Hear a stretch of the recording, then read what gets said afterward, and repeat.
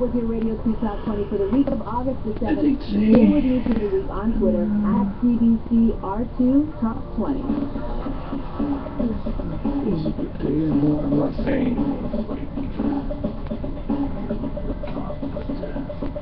And don't forget to choose your favorite song. Make your vote at cbcmusic.ca slash top 20. I'm Manala Duncan. Bye! Hmm.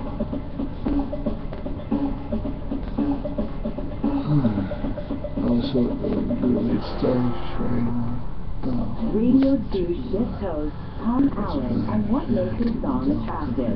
So there's some kind of a combination of things that when you know a song and when it does what you expect it to, there's a reward there. It's like an interesting character in a story. He's full of contradictions. It has to be engaging enough to keep us on the hook.